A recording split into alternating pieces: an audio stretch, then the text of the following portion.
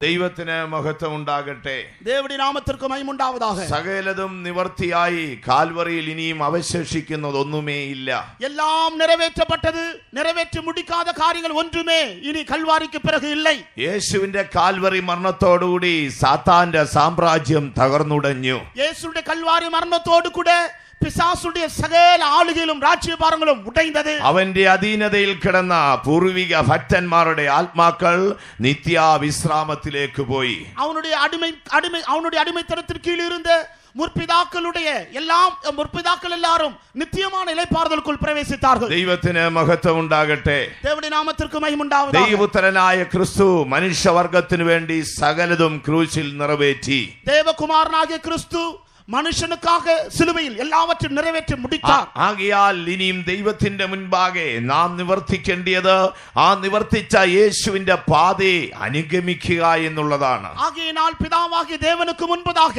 நாம் நிறைய செய்ய வேண்டியது என்னவென்றால் எல்லாவற்றையும் முடித்த இயேசுவினுடைய அடிச்சுவடுகளை நாம் பின்பற்ற வேண்டியதாக യേശുവിന്റെ அவசியமாயிருக்கிறது. കാൽവറി മരണത്തോടുകൂടെ അതിപ്രധാനമായ രണ്ട് കാര്യങ്ങൾ കൂടെ നിവർത്തിക്കപ്പെടുകയാണ് இயேசுடைய கல்வாரி மரணத்தோடு கூட மிகவும் முக்கியமான ரெண்டு காரியங்கள் நிறைவேற்றப்பட்டது എബ്രായ ലേഖനം പത്താം അധ്യായത്തിന്റെ ഒൻപതാം വാക്യത്തിലേക്ക് വരുമ്പോൾ எபிரேயருக்கு எழுதும் நிருபம் பத்தாம் அதிகாரத்துடைய ஒன்பதாம் வசனத்துக்கு நான் வரும்பொழுது തന്റെ അവസാന നിമിഷത്തിങ്കൽ താൻ പിതാവിനെ നോക്കി പറയുന്നത് ഇങ്ങനെയാണ് அவர் தன்னுடைய கடைசி நிமிஷத்தில் பிதாவை நோக்கி இவ்விதமாய் சொல்லுகிறார் പിതാവേ നിന്റെ ഹിതം ചെയ്യുവാൻ ഇതാ ഞാൻ വരുന്നു தேவனே உம்முடைய சித்தம் செய்யும் செ- சித்தத்தின்படி செய்ய இதோ வருகிறேன் എന്ന് പറഞ്ഞുകൊണ്ട് അവൻ രണ്ടാമത്തേതിനെ സ്ഥാപിപ്പാൻ ഒന്നാമത്തേതിന് നീക്കം വരുത്തി இவ்விதமாய் சொல்லி இரண்டாவதை நிலைநிறுத்துவதற்கு முன் முன்- அஹ், நிலைநிறுத்தும்படியாக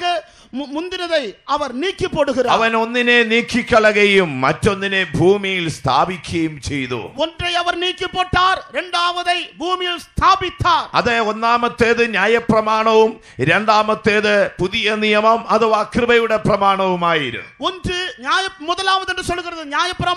பிரமாணமும் இரண்டாவது என்று சொல்லுகிறது கிருபையும் இல்லாவிட்டால் கிருபையின் பிரமாணமாய் இருக்கிறது. ന്യായപ്രമാണം അവൻ നീക്കിയില്ല പിന്നെയോ തന്റെ ദേഹം എന്ന തിരശീല ചിന്തിക്കൊണ്ട് ന്യായപ്രമാണം എന്നേക്കുമായി നിവർത്തിക്കുകയുണ്ടായി நியாய பிரமாணத்தை அவர் அழிக்கவில்லை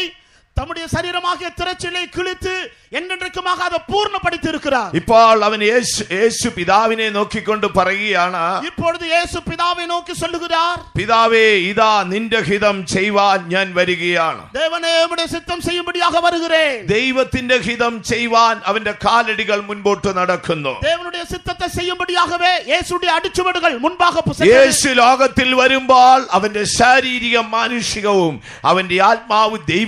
ദൈവികവുമായിരുന്നു இயேசு இந்த பூமிக்கு வந்தபோது அவருடைய சரீரமும் அவருடைய ஆவியும் எல்லாமே தெய்வீகத்துக்குட்பட்டதாக இருந்தது യേശു ചെറുപ്പകാലം തുടങ്ങി ദേവാലയത്തിൽ പോയിരുന്നു എന്നാൽ ഒരിക്കലും ഒരു യാഗവസ്തുവിനെ താൻ ദേവാലയത്തിലേക്ക് കൊണ്ടുപോയിരുന്നില്ല இயேசு தான் சிறு வயதாக இருக்கும் பொழுதே தேவாலயத்திற்கு செல்வது வழக்கமாக இருந்தது ஆனால் ஒருபோதும் பலி பொருளை பலிவஸ்தை அவர் கொண்டு போகவே இல்லை ഏറ്റവും ഒടുവിൽ അവൻ ഇങ്ങനെ ചോദിക്കുന്നു ഹനന്യാകവും വഴിപാടും നീ ഇച്ഛിച്ചില്ല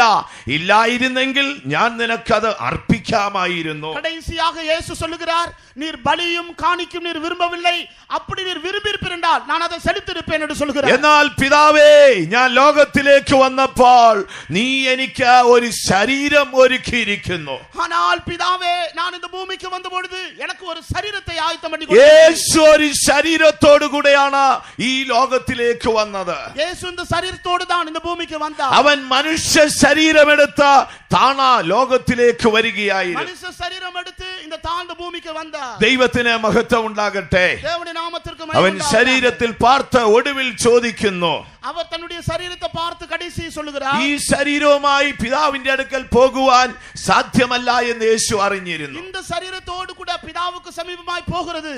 ச- முடியாது என்று பிதா இயேசு அறிந்திருந்தார் എന്നാൽ ഈ ശരീരം എങ്ങനെ വിട്ടൊഴിഞ്ഞ് ആത്മാവ് പോകണം എന്നുള്ളതാണ് തന്റെ ചോദ്യം ஆனால் இந்த சரீரத்தை விட்டு எவ்விதமாய் பிதாவினிடத்தில் போக வேண்டும் என்பதுதான் എന്നാൽ கேள்வியாயிருந்தது യേശു ജനിക്കുന്നതിന് എഴുന്നൂറിൽ പരം വർഷങ്ങൾക്കപ്പുറം പ്രവാചകൻ ആ ശരീരത്തെ കുറിച്ച് പ്രവചിക്കുകയാണ് ஆனால் இயேசு பிறப்பதற்கு எழுநூறு வருஷத்திற்கு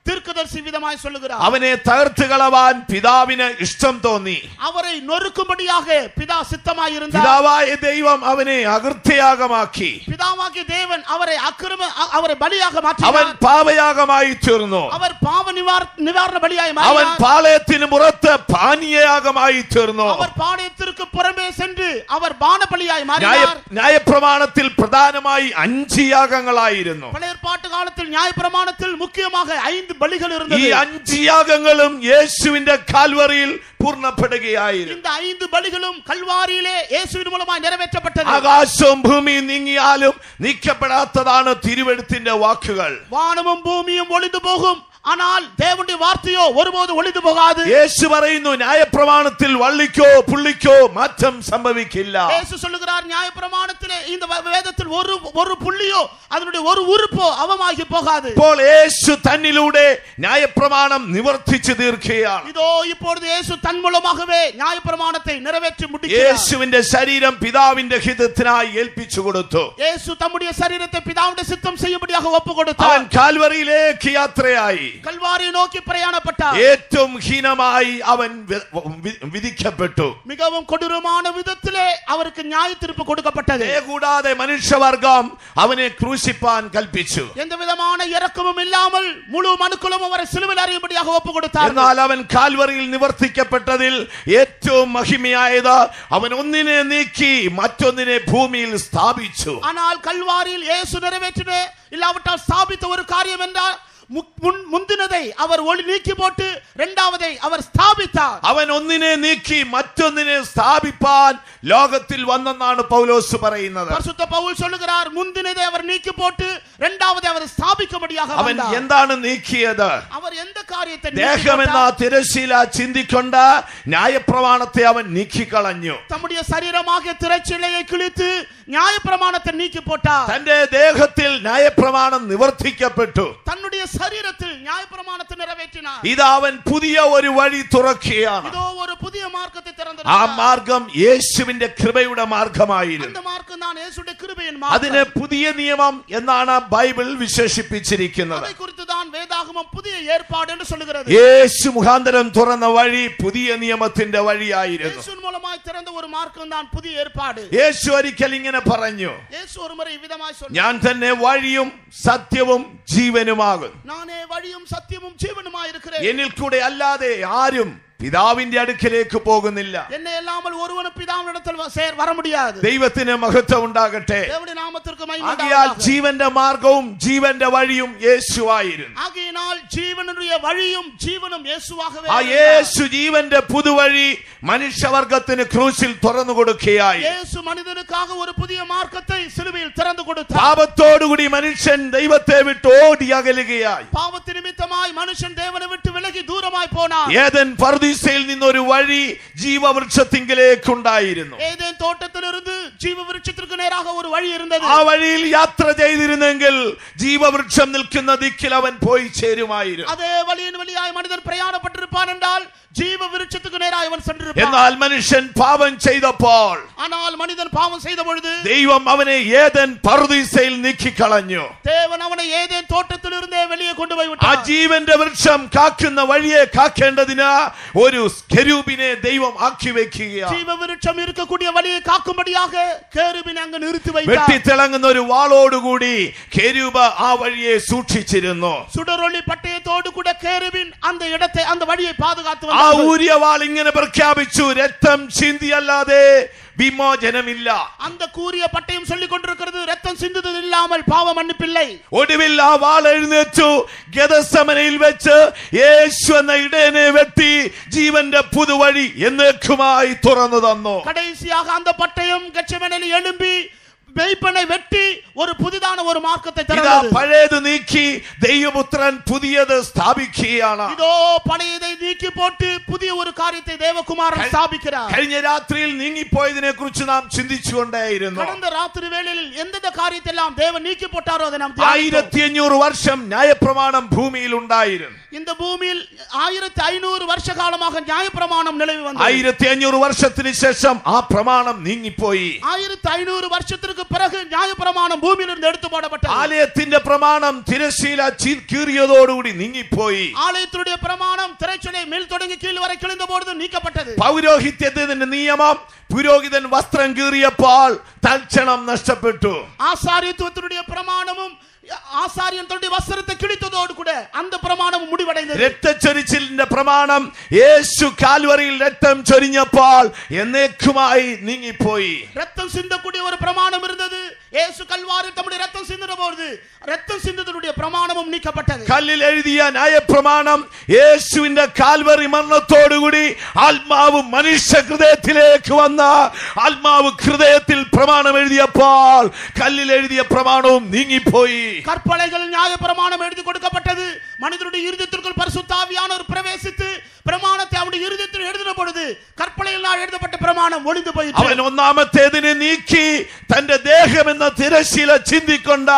രണ്ടാമത്തേതിനെ ഭൂമിയിലെ സ്ഥാപിച്ചു முதலாவது நீக்கி போடும்படியாக தம்முடைய மாംச சரீரத்தை கிழித்து இரண்டாவது காரியத்தை அவர் ஸ்தாபித்திருக்கிறார் രണ്ടാമത് സ്ഥാപിച്ചത് പുതിയ നിയമമായിരുന്നു இரண்டாவது அவர் ஸ்தாபித்ததுதான் புதிய ആ ஏற்பாடு പുതിയ നിയമത്തിന് ചില ഉപദേശങ്ങൾ இந்த ഉണ്ടായിരുന്നു புதிய ஏற்பாட்டில் சில உபதேசங்கள் ആ இருக்கிறது വഴി പെന്റിക്കോസ് നാളിൽ പത്രോസ് എന്ന അപ്പോസ്തോലൻ വീണ്ടും തുറക്കുകയാണ് அந்த வழியை பெந்தகோஸ்தே நாளிலே பேதுரு திரும்பவும் திறந்து காண்பிக்கிறார் പത്രോസ് അപ്പോസ്തോലൻ സ്വർഗരാജ്യത്തിന്റെ താക്കോൽ കൊണ്ട് ആ വഴി തുറന്നു കൊടുത്തു பேதுரு அப்போஸ்தலன் பரலோகத்தின் திறவுகோலை வைத்து அந்த மார்க்கத்தை திறந்து கொடுத்தார் വിശുദ്ധന്മാർ ആത്മാവിൽ സന്തോഷിക്കുന്ന കണ്ടപ്പോൾ பரிசுத்தவான்கள் ஆவியில் நிறைந்து களி கூறுகிறதை பார்க்கும் பொழுது സ്വർഗീയമായ സന്തോഷം രുചിച്ചറിഞ്ഞപ്പോൾ பரலோக சந்தோஷத்தை மனுக்குலம் அனுபவித்த பொழுது ശക്തിയുള്ള പുരുഷാരം അവരുടെ അടുക്കലേ കോടിക്കൂടി பக்தியுள்ள எல்லா தேவன் எல்லா மனுஷரும் அவரை சூழ்ந்து அந்த ஜனங்களை சூழ ஆரம்பித்தார் അപ്പോസ്തോലന്മാരിൽ ഒരുവനായ പത്രോസ് എഴുന്നേറ്റ് നിൽക്കുകയാണ് அப்போஸ்தலன் ஒருவனாகிய பேதுரு அவர்கள் நடுவிலே எழும்பி நிற்கிறார் പത്രോസ് ചില കാര്യങ്ങൾ അവരോട് പറയുന്നു பத்- பேதுரு அவர்களிடத்தில் சில காரியங்களை பே- போதிக்கிறார் യേശുവിനെ നിങ്ങൾ ക്രൂശിച്ചു കൊന്നുവോ இயேசுவை நீங்கள் சிலுவையில் அறைந்தீர்கள் എന്നാൽ എന്റെ പിതാവ് അവനെ ഉയർപ്പിച്ചിരിക്കുന്നു ஆனால் பிதோவோ அவரை எழும்பு பண்ணினார் അവൻ സ്വർഗത്തിൽ രാജാവായി തീർന്നിരിക്കുന്നു இப்பொழுது இவர் பரலோகத்தில் ராஜாவாய் மாறி അവൻ இருக்கிறார் കർത്താതി കർത്താവായിരിക്കുന്നു கர்த்தாதி கர்த்தாவாய் மாறி இருக்கிறார் ഞങ്ങൾ അതിനു സാക്ഷിയാണ് நாங்களே அதற்கு சாட்சிகளாய் இருக்கிறோம் അതിന്റെ തെളിവാണ് പരിശുദ്ധാത്മാവ് ഭൂമിയിലേക്ക് വന്നത് அதனுடைய விளக்கம் தான் பரிசுத்தாவியானவர் பூமிக்கு வந்திருக்கிறார் ദൈവത്തിന് മഹത്വം ഉണ്ടാകട്ടെ தேவனுடைய நாமத்திற்கு നമ്മുടെ மகிமுண்டாவதாக യേശു മരണം വിട്ട് പിതാവിന്റെ അടുക്കൽ പോയി நம்முடைய இயேசு மரித்தோர்ந்து எழும்பி பிதாவினிடத்து சென்றார் അവൻ പിതാവിന്റെ അടുക്കൽ ചെന്ന് പരിശുദ്ധാത്മാവിനെ ഭൂമിയിലേക്ക് അയച്ചു பிதாவினிடத்தில் சென்ற பிறகு பர- பிறகு பரிசுத்தாவிய பூமிக்கு அனுப்பினார் യേശുവിന്റെ അമ്മ മറിയവും യേശുവിനെ അനുഗമിച്ച പുരുഷാരവും യേശുവിന്റെ ശിഷ്യന്മാരും ഇരിക്കുന്നിടത്ത് ആത്മാവ് വന്നു இயேசுவினுடைய தாயாய் இருக்கிற மரியாலும் சீஷர்களும் அப்- அப்போஸ்தலரும் சீஷர்களும் குடியிருந்த இடத்தில் பரிசுத்தாவியானவர் இறங்கி ആ வந்தார் ദിനത്തിൽ ഭൂമിയുടെ നാല് ദിക്കിൽ നിന്നും യെരൂശലേം ദേവാലയത്തെ തേടി വന്ന ഒരു വലിയ പുരുഷാരം ഉണ്ടായിരുന്നു அந்த நாளில் முழு உலகத்துடைய நான்கு திசைகளிலும் இருந்து எருசலேமில் பண்டிகை ஆசரிக்கும்படியாக வந்த திரள் ஜனங்கள் അവർ இருந்தார் ഈ അത്ഭുതം കണ്ട് ഓടിക്കൂടുകയാണ് அவர்கள் இந்த அதிசயத்தை கண்டு எல்லாரும் அந்த மேல் வீட்டில் கூடி வந்தார்கள் മുൻകാലത്ത് ഭീരുവായിരുന്ന പത്രോസ് ആത്മാ നിയോഗിതനായി ശക്തിയോടെ എഴുന്നേറ്റ് നിൽക്കുകയാണ് முந்தின நாட்களில் மிகவும் பயப்படுகிறவனாய் இருந்த பேதுரு பரிசுத்தாவின் அபிஷேகத்தினால் நிரம்பி அந்த ஏவுதலோடு வல்லமையை ப- பிரசங்கிக்க ஆரம்பித்தார் യേശു പഴയത് നീക്കി പുതിയതിനെ ഭൂമിയിൽ സ്ഥാപിച്ചിരിക്കുന്നു இயேசு பழையதை நீக்கி போட்டு புதியதை ஸ்தாபித்தார் അവൻ മരണം വിട്ട് ഉയർത്തിരിക്കുന്നു மரணத்தை விட்டு உயிரோடு எழும்பி അവൻ இருக்கிறார் പിതാവിന്റെ അടുക്കൽ പോയിരിക്കുന്നു பிதாவுக்கு சமீபமாய் சென்றிருக்கிறார் അവൻ ആത്മാവിനെ ഭൂമിയിൽ അയച്ചിരിക്കുന്നു சுத்தாவியானவர் பூமிக்கு அனுப்பி இருக்கிறார் ഇതുതാൻ പത്രോസിന്റെ പ്രസംഗം இதுதான் பேதுருடைய பிரசங்கம் സ്വർഗരാജ്യത്തിന്റെ വാതിൽ തൽക്ഷണം തുറക്കുകയായിരുന്നു. അതേ നേരത്തിൽ പരലോകത്തിന് വാസൽ തുറക്കപ്പെട്ടത്. പുരുഷാരമെല്ലാം അവന്റെ അടുക്കൽ ഓടിക്കൂടി. ജനങ്ങൾ കൂട്ടങ്ങൾ അവർക്ക് സമീപമായി കൂടി അവർ ചോദിച്ചു രക്ഷ പ്രാപിപ്പാൻ ഞങ്ങൾ എന്ത് ചെയ്യണം? അവർ കേട്ടാർകൾ സഹോദരന്മാരെ ഞങ്ങൾ രക്ഷിക്കപ്പെടാൻ എന്നെ ചെയ്യേണ്ടത് പഴയ നിയമത്തിന് ചില പ്രമാണങ്ങൾ ഉണ്ടായിരുന്നു. ഏർപ്പാട്ടിൽ ചില പ്രമാണങ്ങൾ ഇരുന്നത്. അതിൽ രണ്ട് ഭാഗമായിരുന്നു. അതിൽ രണ്ട് പിരിവുകൾ ഇരുന്നത്. ഒന്നേ മോശ ദൈവത്തിന്റെ കരങ്ങളിൽ നിന്ന് വാങ്ങിയ പ്രമാണം. മുതലാവത് മോശയുടെ കരത്തിൽ നിന്ന് വാങ്ങിയ പ്രമാണം രണ്ടാമതായി മോശ ആത്മാവിൽ ജനത്തോട് നിർദ്ദേശിച്ചിരുന്ന പ്രമാണം. രണ്ടാമത് മോശ തന്നുடைய ആവിൽ ജനങ്ങൾക്ക് ബോധിച്ചിരുന്ന പ്രമാണം. പുതിയ നിയമത്തിൽ ഇതുപോലെ രണ്ട് ഭാഗമാണ് പ്രമാണം. ഇതേപോലെ പുതിയ ഏർപ്പാട്ടിലും രണ്ട് പ്രമാണം രണ്ട് വിധങ്ങളാക പ്രമാണങ്ങൾ നാല് സുവിശേഷത്തിലായി യേശു തിരുവായി മൊഴിഞ്ഞ കൽപ്പനകൾ നമുക്ക് കണ്ടെത്താം. നാല് സുവിശേഷങ്ങളിലും യേശു തമ്മുടെ വായിനാലെ ഉറൈത്ത കൽപ്പനകളെ നാം തുടർന്നുള്ള ലേഖന ലേഖനങ്ങളിൽ അപ്പോസ്തോലന്മാർ ആത്മാവിൽ ഉപദേശിച്ച സത്യം നമുക്ക് കണ്ടെത്താം அதை தொடர்ந்து இருக்கிற எல்லா நிருபங்களிலும் அப்போஸ்தலர்கள் ஆவியினால் ஏவப்பட்டு கொடுத்த பிரமாணங்களை பார்க்கலாம் ദൈവത്തിന് മഹത്വം ഉണ്ടാകട്ടെ தேவனுடைய நாமத்திற்கு மகிமை உண்டாவதாக പരിശുദ്ധാത്മാവ് ഭൂമിയിലേക്ക് വരുന്നു பரிசுத்தாவியானவர் பூமிக்கு வருகிறார் അപ്പോസ്തോലന്മാർ സ്വർഗരാജ്യത്തിന്റെ ഉപദേശം പ്രസംഗിക്കുന്നു அப்போஸ்தலர் பரலோக ராஜ்யத்தினுடைய உபதேசத்தை பிரசங்கித்தார்கள் പഴയതിന് ഒരു പ്രമാണമുണ്ടായിരുന്നു பழைய ஏற்பாட்டில் ஒரு பிரமாணம் இருந்தது ആ പഴയതിന് ഒരു ഉദ്ദേശം ഉണ്ടായിരുന്നു அதற்கு ஒரு ஒரு ஒரு ஒரு என்ன, ஒரு ஒரு ஒரு நோக்கம் இருந்தது ആ അതിന് ചില ശുശ്രൂഷകൾ ഉണ്ടായിരുന്നു அதற்கு சில ஊழியங்கள் இருந்தது അതിന് ചില പ്രമാണങ്ങൾ ഉണ്ടായിരുന്നു அதற்கு சில பிரமாணங்கள் இருந்தது ശുശ്രൂഷ ചെയ്യുവാൻ ചില ശുശ്രൂഷകരും ഉണ്ടായിരുന്നു ஊழியம் செய்யும்படியாக சில ஊழியர்களும் இருந்தார்கள் പുതിയ നിയമവും അങ്ങനെ തന്നെയാണ് புதிய ஏற்பாடும் அவ்விதமாக தான் പുതിയ നിയമത്തിന് ചില ഉപദേശങ്ങളുണ്ട് புதிய ஏற்பாட்டு காலத்தில் சில உபதேசங்கள் അതിൽ இருக்கிறது ചിലത് നമുക്ക് ഇന്ന് രാത്രി ചുരുക്കമായി ചിന്തിക്കാം அதில் சிலவற்றை குறித்து இந்த மாலையில் நாம் தியானிக்கலாம் പുരുഷാരൻ ചോദിക്കുന്നു രക്ഷ പ്രാപിപ്പാൻ ഞങ്ങൾ എന്തു ചെയ്യണം திரள் ஜனங்கள் கேட்கிறார்கள் சகோதரரை நாங்கள் ரட்சிக்கப்படும்படியாக என்ன செய்ய வேண்டும் അപ്പോൾ പത്രോസ് എഴുന്നേറ്റ് നിന്ന് പറയുകയാണ് அப்பொழுது பேதுரு எழும்பி நின்று നിങ്ങൾ போதிக்கிறார் മാനസാന്തരപ്പെടുവീൻ நீங்கள் மனம் திரும்புங்கள் നിങ്ങൾ മാനസാന്തരപ്പെടുവീൻ மனம் திரும்புங்கள் കഴിഞ്ഞകാല ജീവിതത്തിലെ തെറ്റുകളെ ഓർത്ത നിങ്ങൾ ദൈവം മുൻപാകെ അനുദപിപ്പീ இப்ப முந்தின நாட்களில் நீங்கள் செய்த குற்றங்கள் எல்லாம் நினைத்து தேவனுக்கு முன்பாக மனஸ்தாபப்படுங்கள் വീണ്ടും അദ്ദേഹം തുടർന്നു പറയുകയാണ് திரும்பவும் அவர் திரும்பவும் வெளிரங்கமாய் നിങ്ങൾ சொல்லுகிறார் വിശ്വാസത്തോടെ ജലസ്നാനം എടുപ്പീൻ விசுவாசத்தோடு ஞானஸ்நானம் பெற்றுக் கொள்ளுங்கள் എന്നാൽ ദൈവത്തിന്റെ ദാനമായ പരിശുദ്ധാത്മാവ് ലഭിക്കും அப்படி என்றால் பரிசுத்தாவியாக தேவனுடைய வரம் உங்களுக்கு கிடைக்கும் രണ്ട് കാര്യം നാം ചെയ്യണം நாம் ரெண்டு காரியங்களை செய்ய வேண்டும் അപ്പോൾ രണ്ട് കാര്യം ദൈവം ചെയ്തു തരും அப்பொழுது ரெண்டு காரியங்களை தேவன் செய்வார் ഒന്നേ നാം മാനസാന്തരപ്പെടണം ஒன்று நாம் மனம் திரும்ப வேண்டும் അപ്പോൾ ദൈവം നമ്മുടെ പാപം ക്ഷമിച്ചു തരും அப்பொழுது நம்முடைய தேவன் நம்முடைய பாவங்களை மன்னிப்பார் രണ്ടേ നാം ജലസ്നാനം എടുക്കണം இரண்டாவது நாம் ஞானஸ்நானம் எடுக்க வேண்டும் അപ്പോൾ പരിശുദ്ധാത്മാവ് എന്ന ദാനം നമുക്ക് ലഭിക്കും அப்பொழுது பரிசுத்தாவியாக வரம் நமக்கு கிடைக்கும் ദൈവത്തിന് മഹത്വം ഉണ്ടാകട്ടെ தேவனுடைய நாமத்திற்கு மகிமை உண்டாவதாக യേശു പുതിയത് ഭൂമിയിൽ സ്ഥാപിച്ചിരിക്കുന്നു இயேசு புதிய ஒரு காரியத்தை பூமியில் പഴയ ஸ்தாபித்திருக்கிறார் പൗരോഹിത്യം നീങ്ങിപ്പോയി பழைய ஆசாரியத்துவம் முடிந்திருக்கிறது പഴയ ആലയം നീങ്ങിപ്പോയി பழைய ஆலயம் மு- முடிந்திருக்கிறது പഴയ രക്തച്ചൊരിച്ചിൽ നീങ്ങിപ്പോയി பழைய ரத்தம் சிந்துதல் நீங்கி இருக்கிறது പഴയ പ്രമാണം നീങ്ങിപ്പോയി பழைய பிரமாணம் நீக்கப்பட்டிருக்கிறது യേശു പുതിയത് സ്ഥാപിച്ചിരിക്കുന്നു இயேசு புதியதை ஸ்தாபித்திருக்கிறார் അതത്രേ പുതിയ നിയമ அதுதான் புதிய ஏற்பாடு അതിന്റെ ഉപദേശം എന്താണ് அதனுடைய உபதேசம் என்ன ഒന്നേ മാനസാന്തരപ്പെടുക முதலாவது மனம் திரும்புங்கள் ചെയ്തു പോയ തെറ്റുകളെ ഓർത്ത് നിങ്ങൾ മന മനം തിരിയുക நீங்கள் செய்த ஒவ்வொரு குற்றமும் நினைத்து மனஸ்தாபப்பட வேண்டும் അതിനുശേഷം വിശ്വാസത്തോടെ നിങ്ങൾ ജലസ്നാനം എടുക്കുക அதற்கு பிறகு விசுவாசத்தோடு கூட ஞானஸ்நானம் எடுக்க வேண்டும் വിശ്വാസം കൂടാതെയുള്ള സ്നാനത്താൽ യാതൊരു പ്രയോജനവുമില്ല விசுவாசம் இல்லாமல் എടുക്കുന്ന ജ്ഞാനസ്നാനത്തിനാൽ എന്ത് വിധമാണ് പ്രയോജനവും ഇല്ല പാവങ്ങളെ ഏറ്റു പറഞ്ഞുകൊണ്ട് വേണം സ്നാനം എടുപ്പാൻ പാവങ്ങളെ അറിക്ക ചെയ്ത് പിറകുതാൻ ജ്ഞാനസ്നാനം എടുക്ക യേശുവിന് മുന്നോടിയായി യോഹന്നാൻ ഭൂമിയിലേക്ക് വന്നു. യേശുവുക്ക് മുന്നോടിയാക യോവാൻ സ്നാപകൻ ഭൂമിക്ക് അവൻ യെരൂശലേമിന്റെ വീതികളിലൊക്കെയും പ്രസംഗിച്ചു. അവൻ യെരൂശലേമിൻ എല്ലാ വീതികളിലും പ്രസംഗിച്ച അവന്റെ ശബ്ദം കൊടുങ്കാറ്റ് പോലെ രാജാക്കന്മാരുടെ സിംഹാസനങ്ങളെ ഉലച്ചു കളഞ്ഞു അവരുടെ ഉപദേശം അവരുടെ സത്യങ്ങൾ രാജാ വീട്ടിരുന്ന സിംഹാസനത്തിന്മേൽ പലത്ത പുയൽ കാറ്റുമാണ് വീശുന്നത്. അവന്റെ ശബ്ദത്തിന് മുൻപിൽ യഹൂദാജനം ഞെട്ടി വിറച്ചു. അവരുടെ ശബ്ദത്തിന് മുൻപാകെ യൂത ജനങ്ങൾ ഭയന്ന് നടുങ്ങിനാർ. അവർ യോഹന്നാനെ അനുഗമിച്ചു. അവർ യോവാനെ പിൻപറ്റിനാർ. അവൻ യോഹന്നാന്റെ കൈക്കീഴിൽ സ്നാനമേറ്റു. അവർ യോവാൻ ശ്രാവനുടെ കയറത്തിന് കീഴിൽ സ്നാനമെടുത്താർ. എങ്ങനെയാ സ്നാനമെടുത്തെന്നറിയാമോ അവർ ലഭ്യമായി ഞാൻ സ്നാനമെടുത്താർ യോർദാൻ யோர்தான் நதியுடைய இரு கரையிலும் உள்ளவர் புறப்பட்டு என்ன யோர்தானுடைய இரு கரைக்கு நடுவே வந்து புறப்பட்டு சென்றுட்டா அதற்கு அதற்கு சமீபமாய் புறப்பட்டு போய் தங்களுடைய பாவங்களை ஏற்று பறஞ்சு கொண்டார் தங்களுடைய பாவங்களை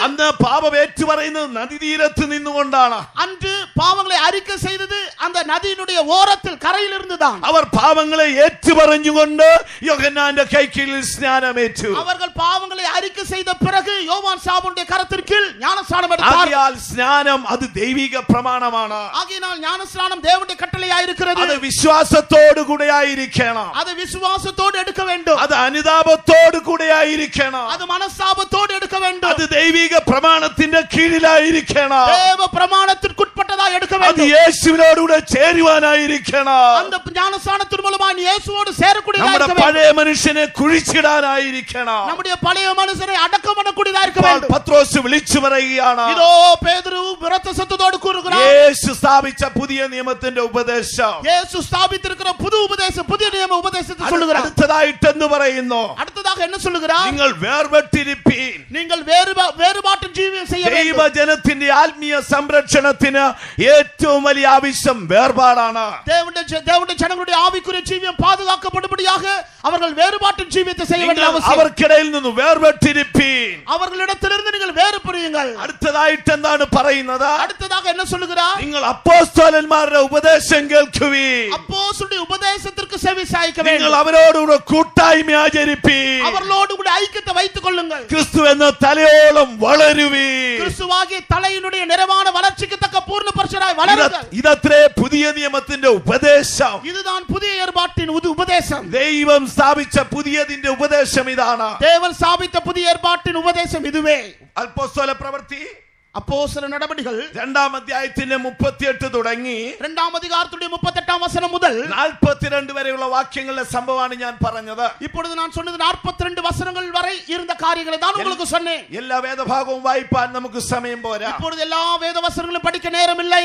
നിങ്ങൾ നിങ്ങളുടെ വീടുകളിൽ പോയി വായിച്ചാട്ട് நீங்கள் உங்கள் வீட்டில் போய் இந்த வேத பகுதியை படித்து ആകയാൽ வாருங்கள். യേശു ഒരു പുതിയ നിയമം ഭൂമിയിൽ സ്ഥാപിച്ചു ஆகையினால் இயேசு ஒரு புதிய நிய- ஒரு ஏற்பாட்டை பூமியில் ஸ்தாபித்தார் പിതാവേ സകലതും നിവർത്തിയായി എന്ന് പറയുമ്പോൾ പിതാവേ എല്ലാം മുടിഞ്ഞത് എന്ന് പറയുമ്പോൾ മോശ മുഖാന്തരം ലഭിച്ച പ്രമാണങ്ങൾക്കും നിവർത്തി വന്നു. മോശയിൻ മൂലമായി ഉണ്ട് പണപ്പെട്ട പ്രമാണത്തിൽക്കും ഒരു മുടിവ് ഉണ്ട് ദൈവത്തിന് മഹത്വം ഉണ്ടാകട്ടെ. ദേവടി നാമത്തിൽക്ക് മയമുണ്ടാവും പഴയത് നീക്കി പുതിയതിനെ സ്ഥാപിച്ചു. യേശു പഴയത് നീക്കി പോട്ട് പുതിയതിനെ സ്ഥാപിച്ച അടുത്തതായി നമുക്ക് പഴയ നിയമത്തിന്റെ പൗരോഹിത്യത്തെ ഒന്ന് നോക്കാം. അടുത്തതാക പഴയ കാലത്തിൽ ആസാരിത്വത്തെ നാം പാർക്കുമ്പോഴത് അന്നുണ്ടായിരുന്ന പൗരോഹിത്യം അഗരോന്റെ ക്രമത്തിലായിരുന്നു. അന്നിരുന്ന ആ ஆரோனுடைய முறைமையின்படி இருந்தது എന്നാൽ പുതിയ നിയമത്തിലേക്ക് വരുമ്പോൾ ஆனால் புதிய ஏற்பாட்டில் வரும் பொழுது അഗരോന്റെ ക്രമം നീക്കിക്കളഞ്ഞു ஆரோனுடைய முறைமை நீக்கப்பட்டது നമ്മുടെ യേശു മറ്റൊരു ക്രമം ഭൂമിയിൽ സ്ഥാപിച്ചു நம்முடைய இயேசு வேறொரு முறைமையை பூமியில் ஸ்தாபித்தார் അത് ആരുടെ ക്രമമാണ് அது யாருடைய முறைமை മൽക്കിസദേക്കിന്റെ ക്രമത്തിൽ അവൻ പുരോഹിതനായി மெல்கிசதேக்கின் முறைமையின்படி அவர் பிரதான ஆசாரியனாய் പുതിയ மாறினார் നിയമത്തിലെ ഒന്നാമത്തെ പുരോഹിതൻ അത് നമ്മുടെ യേശു ആയിരുന്നു புதிய ஏற்பாட்டில் முதல் ஆசாரியன் நம்முடைய இயேசுவாய் இருக்கிறார் ലേഖനം അഞ്ചാം അധ്യായത്തിന്റെ ആറാം വാക്യത്തിൽ വരുമ്പോൾ எபிரேயர் கழுது நிருபம் ஐந்தாம் அதிகாரம் ஆறாம் வசனத்துக்கு வரும் பொழுது അഗരോന്റെ ക്രമം എന്ന് പറയാതെ ஆரோனுடைய முறைமை என்று சொல்லாமல் മൽക്കിസദേക്കിന്റെ ക്രമത്തിൽ എന്ന് പറഞ്ഞിരിക്കുന്നു மெல்கிசதேக்கின் முறைமையின்படி என்று நாம் படிக்கிறோம் വീണ്ടും പത്താം വാക്യത്തിലേക്ക് വരുമ്പോൾ திரும்பவும் பத்தாம் வசனத்துக்கு வரும் பொழுது യേശു മൽക്കിസദേക്കിന്റെ ക്രമത്തിൽ പുരോഹിതനായി இயேசு மெல்கிசதேக்கின் முறைமையின்படியான பிரதான ஆசாரியராய் மாறினார் എബ്രായ ലേഖനം മൂന്നാം അധ്യായത്തിലേക്ക് വരുമ്പോൾ எபிரேயர் கழுது நிருபம் மூன்றாம் அதிகாரத்துக்கு வரும் பொழுது യേശുവിനെ പൗലോസ് അപ്പോസ്തോലനും മഹാപുരോഹിതനുമായി പറയുകയാണ് இயேசுவை பரிசுத்த பவுல் சொல்லுகிறார் அவர் அப்போஸ்தலனும் ஆசாரியனுமாய் இருக்கிறார் അപ്പോസ്തോലൻ പുതിയ നിയമ ശുശ്രൂഷയിലെ ശ്രേഷ്ഠനാണ് அப்போஸ்தலன் புதிய ஏற்பாட்டு காலத்தில் சி- மிக முக்கியமானவன் എന്നാൽ മഹാപുരോഹിതൻ ന്യായപ്രമാണ ശുശ്രൂഷയിലെ ശ്രേഷ്ഠനാണ് ஆனால் பிரதான ஆசாரியன் நியாயப்பிரமாணத்தின்படி மிகவும் முக்கியமானவன் അപ്പോൾ നമ്മുടെ യേശു ഈ രണ്ട് സ്ഥാനവും ഏറ്റെടുക്കുകയാണ് இதோ இப்பொழுது இயேசு இந்த ரெண்டு ஸ்தானத்தையும் தான் பெற்றுக் கொள்கிறார் യേശു അപ്പോസ്തോലനായി ലോകത്തിലേക്ക് വന്നു இயேசு அப்போஸ்தலனாய் இந்த பூமிக்கு வந்தார் താൻ തന്നെ ശിഷ്യന്മാരെ അയക്കുമ്പോൾ அவர் தன்னுடைய சீஷர்களை அனுப்பும் பொழுது യേശു ഇങ്ങനെയാണ് പറഞ്ഞത് இயேசு விதமாய் சொல்லி എന്റെ அனுப்பினார் പിതാവ് എന്നെ അയച്ചതുപോലെ என்னுடைய பிதா என்னை எவ்விதமாக அனுப்பினாரோ ഞാൻ നിങ്ങളെയും അയക്കുന്നു அதே போல நான் உங்களை அனுப்புகிறேன் എന്റെ പിതാവ് എന്നെ അയച്ചതുപോലെ என்னுடைய பிதா என்னை அனுப்பினது போல ഞാൻ നിങ്ങളെയും അയക്കുന്നു நான் உங்களையும் அனுப்புகிறேன் അപ്പോസ്തോൽ എന്ന വാക്കിന്റെ അർത്ഥം അയക്കപ്പെട്ടവൻ എന്നാണ് அப்போஸ்தலன் என்ற வார்த்தையுடைய அர்த்தம் அனுப்பப்பட்டவன் നമ്മുടെ യേശു അപ്പോസ്തോലനായി ലോകത്തിലേക്ക് വന്നു நம்முடைய இயேசு அப்போஸ்தலனாய் இந்த பூமிக்கு வந்தார் എന്നാൽ അവൻ മഹാപുരോഹിതനായി പിതാവിന്റെ അടുക്കലേക്ക് കയറിപ്പോയി ஆனால் மகா பிரதான யோக்கியனாய் பிதாவுடைய சமீபத்தில் எடுத்துக்கொள்ளப்பட்டார். காலங்களின் இரத்தத்தால் அல்ல. அவர் ஆட்டினுடைய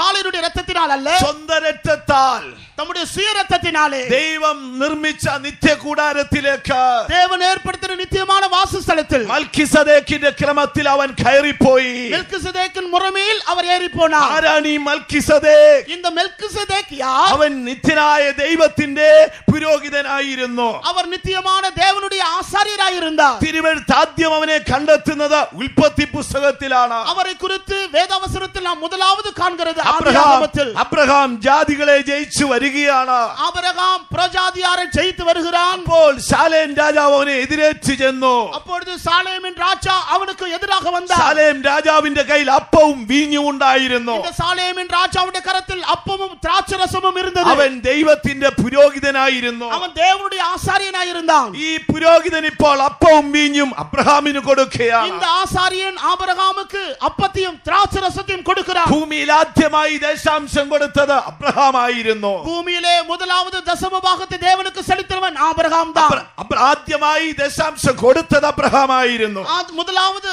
தசம பாகத்தை செலுத்தினவன் ஆபிரகாம் தான் ആദ്യമായി ദശാംശം വാങ്ങിയത്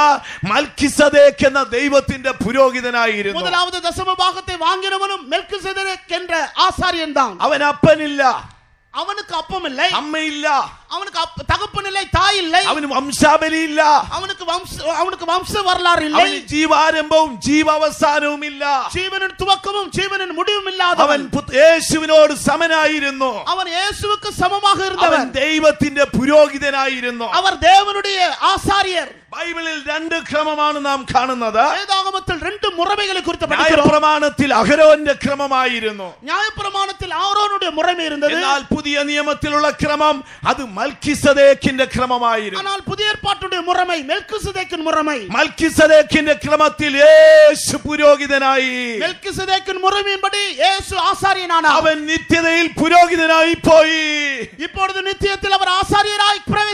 അതിനാൽ பிரவேசித்திருக்கிறார் പുതിയ നിയമത്തിന് ഒരു ശുശ്രൂഷയുണ്ട് ஆகையினால் புதிய ஏற்பாட்டு காலத்தில் ஒரு ஊழியம் இருக்கிறது പുതിയ നിയമത്തിന് ഒരു ഉപദേശമുണ്ട് புதிய ஏற்பாட்டு காலத்தில் உபதேசம் അത് இருக்கிறது പത്രോസ്ലിഹ ഇപ്പോൾ പ്രസംഗിക്കുകയാണ് அதைதான் பேதுரு அஹ், அவன் பிரசங்கிக்கிறான் അടുത്തതായി പുതിയ നിയമത്തിന് ഒരു ശുശ്രൂഷയുണ്ട് அடுத்ததாக புதிய ஏற்பாட்டில் ஊழியம் இருக்கிறது ആ ശുശ്രൂഷകൻ മൽക്കിസദേക്കിന്റെ ക്രമത്തിലായിരിക്കണം அந்த ஊழியன் மெல்கிசதேக்கின் முறைமையினால் ஏற்படுத்தப்பட்டவனாக இருக்க வேண்டும் യേശു മൽക്കിസദേക്കിന്റെ ക്രമത്തിൽ പുരോഹിതനായി இயேசு மெல்கிசதேக்கின் முறைமையின்படி ஆசாரியனானார் ദൈവത്തിന് മഹത്വം ഉണ്ടാകട്ടെ தேவனுடைய நாமத்திற்கு மகிமை അവൻ உண்டாவதாக അപ്പോസ്തലനായി ലോകത്തിലേക്ക് വന്നു அவர் அப்போஸ்தலனாய் பூமிக்கு வந்தார் ഇപ്പോൾ മഹാപുരോഹിതനായി കയറി പോകുകയാണ് இதோ மகா பிரதான ஆசாரியராய் ஏறி போகிறார் ദൈവത്തിന് മഹത്വം ഉണ്ടാകട്ടെ தேவனுடைய நாமத்திற்கு மகிமை ആ உண்டாவதாக യേശുവിന്റെ ക്രമമായിരുന്നു പുതിയ നിയമവിശുദ്ധന്മാരുടെ ശുശ്രൂഷകരുടെ ക്രമം ஆகையினால் இயேசுடைய முறைமையின்படிதான் புதிய ஏற்பாட்டு காலத்தில் ஊழியர்கள் ஏற்படுத்தப்படுகிறார்கள் ദൈവത്തിന് മഹത്വം ഉണ്ടാകട്ടെ தேவனுடைய நாமத்திற்கு மகிமை உண்டாவதாக അപ്പോസ്തലനായ പൗലോസ് തന്റെ സാക്ഷ്യം ഇങ്ങനെയാണ് എഴുതുന്നത് அப்போஸ்தலனாகிய பவுல் தன்னுடைய சாட்சி இவ்விதமாய் எழுதுகிறார் രണ്ട് കോരിന്തിർ മൂന്നാം അധ്യായത്തിന്റെ ആറാം വാക്യത്തിലേക്ക് വരുമ്പോൾ இரண்டாம் கொரிந்தியர் மூன்றாம் அதிகாரம் ஆறாம் வசனத்துக்கு வரும்பொழுது അവൻ ഞങ്ങളെ പുതിയ നിയമത്തിന്റെ ശുശ്രൂഷകരാകാൻ പ്രാപ്തരാക്കി புதிய ஏற்பாட்டின் ஊழியர்கள் ஆகும்படி கர்த்தர் அவர்களை ஏற்படுத்தினார் என்று சொல்லுகிறார் புது உடை- புது உடன்படிக்கையின் ஊழியக்காரராயிருக்கும்படி அவரே எங்களை தகுதியுள்ளவர்களாக்கினார் ദൈവത്തിന് മഹത്വം ഉണ്ടാകട്ടെ தேவனுடைய நாமத்திற்கு மகிமை உண்டாவதாக പൗലോസ് പറയുന്നു അവൻ ഞങ്ങളെ പ്രാപ്തരാക്കി அவர் எங்களை தகுதியுள்ளவனாக்கினார் പുതിയ നിയമ ശുശ്രൂഷ ചെയ്യാൻ ദൈവം ഞങ്ങളെ പ്രാപ്തരാക്കി புது உடன்படிக்கையின் ஊழியக்காரராகும்படி அவரே எங்களை தகுதியுள்ளவனாக்கினார் എന്താണ് അതിന്റെ കാരണം அதனுடைய காரணம் என்ன ആശ്ചര്യമായി ഭൂമിയിൽ ഒരുവന് ഈ ശുശ്രൂഷ ചെയ്യാൻ സാധ്യമല്ലോ எழுத்தின்படியான ஒருவன் இந்த பூமியில் இந்த ஊழியத்தை செய்ய முடியாது കാര്യം ഇത് ഈ ക്രമം മൽക്കിസദേക്കിന്റെ ക്രമമാണ് ஏனென்றால் இதில் இருக்கிற முறைமை மெல்கிசதேக்கின் முறைமை ഇതിലേക്ക് സ്വർഗീയ ദൂതന്മാർ കുനിഞ്ഞു നോക്കിയിരുന്നു இந்த ஊழியத்தை பரலோகத்தில் இருக்கிற தூதர்களும் உற்று എന്നാൽ பார்க்கிறார்கள் ഇപ്പോൾ പൗലോസ് പറയുകയാണ് இதோ பரிசுத்த பவுல் சொல்லுகிறார் അവൻ ഞങ്ങളെ യോഗ്യരാക്കി തീർത്തു அவர் எங்களை தகுதியுள்ளவர் ஆக்கினார் അവൻ ഞങ്ങളെ പുതിയ നിയമത്തിന് യോഗ്യരാക്കി புது உடன்படிக்கைக்கு அவர் தகுதியுள்ளவர் ஆக்கினார் പുതിയ നിയമത്തിന് ഉപദേശമുണ്ട് புதிய ஏற்பாட்டில் உபதேசம் இருக்கிறது പുതിയ നിയമത്തിന് ഒരു ശുശ്രൂഷയുണ്ട് புதிய ஏற்பாட்டில் ஒரு ஊழியமும் இருக்கிறது പഴയ നിയമത്തിന് നിയമത്തിനൊരു പ്രമാണമുണ്ട്. പഴയ പാട്ടിൽ ഒരു പ്രമാണം ഇരുന്നത് പഴയ നിയമത്തിൽ ശുശ്രൂഷകരും ഉണ്ടായിരുന്നു. പാട്ടിൽ ഊഴിയർകളും ഇരുന്നാർക്കും അഗരോനും അവന്റെ മക്കളും കൂടാരത്തിലെ ശുശ്രൂഷകരായിരുന്നു. ആരോണ്ടും അവരുടെ കുമാരരും കൂടാരത്തിൽ ഊഴിയം ചെയ്തു വന്നാർക്കും അവർക്കൊരു പ്രമാണം ദൈവം കൊടുത്തിരുന്നു. അവർക്ക് പ്രമാണത്തിൽ ദേവനെ കൊടുത്തിരുന്നു. പുരോഹിതൻ അവന്റെ വസ്ത്രം കീറരുതേന്ന്. ആസാരിയൻ തന്റെ വസ്ത്രത്തെ കിളിക്കലാകാതെ ആയിരത്തി അഞ്ഞൂറ് വർഷം വസ്ത്രം കീറാതെ അവർ സൂക്ഷിച്ചു. ആയിരത്തി അഞ്ഞൂറ് വർഷക്കാലമാക വസ്ത്രത്തെ കിളിക്കാമൽ പാതുകാത്തു വന്നാർക്കും യേശുവിനെ വിസ്തരിക്കുമ്പോൾ ஆனால் இயேசுவை குற்றம் நியாய்ந்திருக்கும் பொழுது പീലാത്തോസിന്റെ അരമനയിൽ വെച്ച് കയ്യാഭാവ് വസ്ത്രം കീറിക്കളഞ്ഞു பிலாத்துடைய அரண்மனையில் வைத்து காயபா அது- அவ- அவன் தன்னுடைய வஸ்திரத்தை கிழித்தான் ആകയാൽ പൗരോഹിത്യം ദൈവം കീറി നീക്കിക്കളഞ്ഞു ஆகையினால் ஆசாரித்துவத்தை தேவனே கிழித்து மாற்றிவிட்டார் യേശു പുതിയത് സ്ഥാപിച്ചിരിക്കുന്നു இயேசு புதியதை நியமித்திருக்கிறார் പുതിയതിനൊരു ഉപദേശമുണ്ട് புதியதற்கு ஒரு உபதேசம் இருக்கிறது എന്താണ് ആ ഉപദേശം அந்த உபதேசம் என்ன നിങ്ങൾ മാനസാന്തരപ്പെടണം மனம் திரும்ப வேண்டும் നിങ്ങൾ സ്നാനപ്പെടണം ஞானஸ்நானம் எடுக்க നിങ്ങൾ வேண்டும் പരിശുദ്ധാത്മാവിനെ പ്രാപിക്കണം பரிசுத்தாவுடைய அபிஷேகத்தை பெற்றுக்கொள்ள നിങ്ങൾ வேண்டும் വേർപാട് സൂക്ഷിക്കണം வேறுபாட்டின் ஜீவியத்தை നിങ്ങൾ பாதுகாத்துக் கொள்ள வேண்டும் വിശുദ്ധന്മാരോട് കൂട്ടായ്മ ആചരിക്കണം பரிசுத்தவாங்களுடைய ஐக்கியத்தை வைக்க வேண்டும் തലയാകുന്ന ക്രിസ്തുവിനോളം നിങ്ങൾ വളരണം தலையாக கிறிஸ்துவின் வரை எல்லாவற்றிலும் நீங்கள் வளர்ந்து வர வேண்டும் ദൈവത്തിന് മഹത്വം ഉണ്ടാകട്ടെ தேவனுடைய நாமத்திற்கு மயம் உண்டாவதாக അടുത്തതാണ് ശുശ്രൂഷ அடுத்ததுதான் ஊழியம் ആ ശുശ്രൂഷയ്ക്ക് ഒരുവനെ ദൈവം പ്രാപ്തനാക്കുകയാണ് இந்த ஊழியத்திற்கு தேவன் ஒருவனை தகுதி உள்ளவனாக்குகிறார் കാര്യം ഈ ശുശ്രൂഷ ചെയ്യാൻ ആരാലും സാധ്യമല്ല இந்த ஊழியத்தை வேற யாரும் செய்ய முடியாது ഇത് മൽക്കിസദേക്കിന്റെ ക്രമത്തിലായിരുന്നു இந்த ஊழியம் மெல்கிசதேக்கின் முறைமையிலானது ദൈവത്തിന് മഹത്വം ഉണ്ടാകട്ടെ தேவனுடைய நாமத்திற்கு மயம் உண்டாவதாக ആകയാൽ പൗലോസ് പറയുന്നു അവൻ എന്നെ പ്രാപ്തനാക്കി ஆகினால் தான் பரிசுத்த பவுல் சொல்லுகிறார் எங்களை தகுதி உள்ளவராக்கினார் ആകയാൽ ആ ആ ശുശ്രൂഷകന് ചില യോഗ്യതകൾ ഉണ്ടായിരിക്കണം ஆகையினால் இந்த ஊழியருக்கு சில தகுதிகள் இருக்க வேண்டும் ന്യായപ്രമാണ ശുശ്രൂഷകന് ചില യോഗ്യതയുണ്ടായിരുന്നു நியாயப்பிரமாண காலத்தில் ஊழியம் செய்து வந்தவர்களுக்கு சில தகுதிகள் இருந்தது ആ ഭക്തനായ മോശ അതിനെ കുറിച്ച് ഇങ്ങനെയാണ് പറഞ്ഞത് பக்தனாகிய மோசே அவனை குறித்து இவ்விதமாய் சொல்லுகிறார் അവൻ ലേവിയെ കുറിച്ച് പറയുന്നു லேவியரை குறித்து சொல்லுகிறார் അവൻ അപ്പനെയും അമ്മയും കണ്ടില്ല എന്ന് പറയുക அவர் தங்கள் தாயும் தகப்பனையும் பாராதவர்கள் അവൻ സ്വന്തം മക്കളെ ആദരിച്ചില്ല சொந்த பிள்ளைகளை அவர் பார்க்கவில்லை അവൻ സഹോദരന്മാരെ നോർത്തില്ല சகோதரன் என்று நினைக்கவில்லை ദൈവ പ്രമാണത്തെ അവൻ പാലിച്ചിരുന്നു தேவனுடைய பிரமாணத்திற்கு அப்படியே கீழ்ப்படிந்து പുതിയ பாதுகாத்தார்கள் നിയമത്തിലേക്ക് വന്നപ്പോൾ புதிய ஏற்பாட்டு காலத்தில் வரும்பொழுது മൽക്കിസദേക്കിന്റെ ക്രമമാണ് നമ്മുടെ ക്രമം நம்முடைய முறைமை மெல்கிசதேக்கின் முறைமை രണ്ടേ ശുശ്രൂഷകൻ ഒ- അതിനൊരു യോഗ്യതയുള്ളവനായിരിക്കണം மாத்திரமல்ல ஊழியனுக்கு அதற்கேற்ற ஒரு தகுதி இருக்க வேண்டும் യേശു ലോകത്തിലിരിക്കുമ്പോൾ പറഞ്ഞു இயேசு இந்த பூமியில் இருக்கும்போது சொன்னார் ഒരുവൻ എന്റെ പിന്നാലെ വരാൻ ഇച്ഛിക്കുന്നെങ്കിൽ ஒருவன் என்னை பின்பற்றி வர வரும்படியாக வாஞ்சிப்பான் എന്റെ ശിക്ഷനായി തീരാൻ ഇച്ഛിക്കുന്നെങ്കിൽ ஒருவனுடைய சீஷனாய் மாறும்படியாக விரும்பினான் അവൻ തനിക്കുള്ളതൊക്കെയും വിടട്ടെ அவன் தனக்குண்டான எல்லாவற்றையும் விட்- விட்டுவிட வேண்டும் தன்னுடைய அப்பனை விடட்டே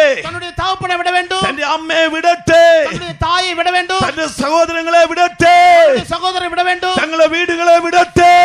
വീടുകളെ വിട ഭൂമിയിൽ തങ്ങൾക്കുള്ളതൊക്കെയും വിട്ടുകളയട്ടെ. ഭൂമിയിൽ തങ്ങൾക്കാക എല്ലാവറ്റും വിട യേശു വീണ്ടും പറയുന്നു യേശു തിരുമ്പവും അങ്ങനെ വിട്ടുകളയാത്ത ഒരുവൻ എന്റെ ശുശ്രൂഷകനാകാൻ സാധ്യമല്ല. വിടാതവൻ എന്നുടേ ഊഴിയക്കാരനാക മുടിയാതെ. അവന്റെ വിദ്യാഭ്യാസം ബാധകമല്ല. അവനുടെ പഠിപ്പ് തകുതിയില്ല. അവന്റെ ജാതി ബാധകം ബാധകമല്ല அவனுடைய